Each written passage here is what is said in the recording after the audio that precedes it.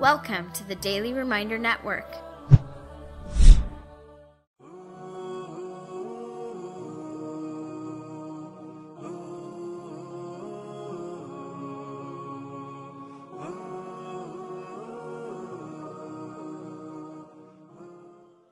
Does it matter if somebody wears hijab if they're committing all these other sins?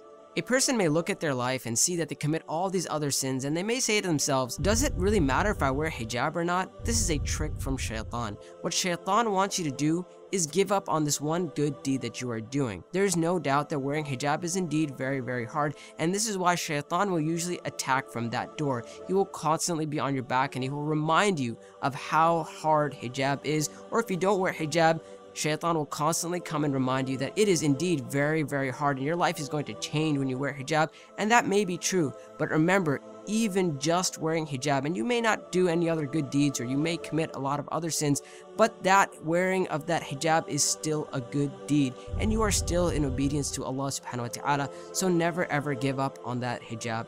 And Allah subhanahu wa ta'ala knows best. Until next time, inshallah ta'ala, assalamu alaikum wa rahmatullahi wa barakatuh. Donate now. Go to www.thedailyreminder.org slash donate and stay updated by joining our network's social links.